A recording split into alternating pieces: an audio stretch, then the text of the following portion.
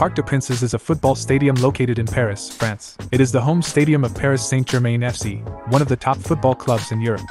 With a seating capacity of over 47,000, it is one of the largest stadiums in France. The stadium has undergone several renovations over the years, including a major expansion and modernization in the early 2010s. Parc des Princes has hosted numerous high profile football matches, including UEFA Euro 1984,